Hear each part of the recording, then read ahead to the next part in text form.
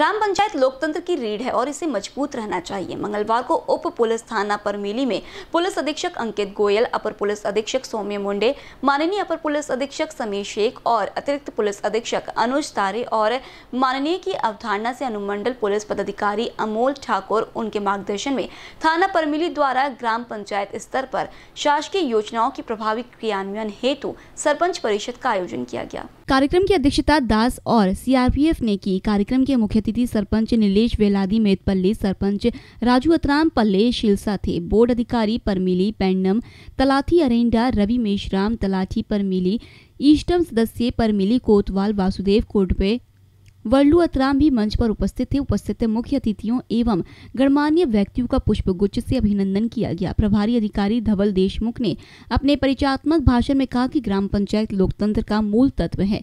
जागरूक होना चाहिए। ग्राम पंचायत स्तर पर ग्राम सभाओं का आयोजन किया जाता है। लेकिन यह देखा गया है कि ग्रामीण बड़ी संख्या में मौजूद नहीं है। ग्राम सभा में प्रत्येक व्यक्ति को भाग लेना चाहिए।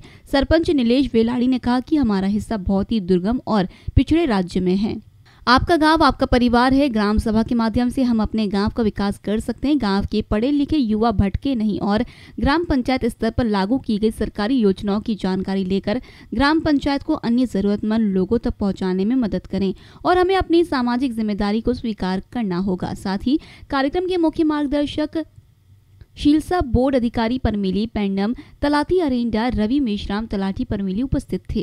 कार्यक्रम के मार्गदर्शक ने दर्शकों को ग्राम पंचायत से संबंधित विभिन्न कल्याणकारी योजनाओं की जानकारी दी और ग्रामीणों को उचित मार्गदर्शन प्रदान किया कि वे इस योजना से कैसे लाभान्वित होंगे। साथ ही उपस्थित पदाधिकारियों और नवारियों द्वारा उठाए गए प्रश्नों का समाधान भी किया गया। सीआरपीएफ पुलिस अधिकारी महादिक ने आयोजन के लिए आभार व्यक्त किया। इस आयोजन को सफल बनाने के लिए पुपानी गंगाधर जाधव श्यामराव शेर की पोहे को रामहरि जुमले, अशोक मेहंदे रोहित दास काले, रविंद्र बोधे विजय विश्वास, पुरुषोत्तम सदमेक महेश दुर्ग, ब्रजेश दाम, केशव गुंडुले शंकर चौहान, एसआरपीएफ और सीआरपीएफ अधिकारियों ने बहुमूल्य सहायता प्रदान की। सरपंच परिषद के आयोजन के लिए नागरिकों और पदाधिकारियों ने गढ़चिरौली पुलिस को धन्यवाद दिया। अहेरी से बीसीएन न्यूज़ के लिए आसिफ पठान की रिपोर्ट।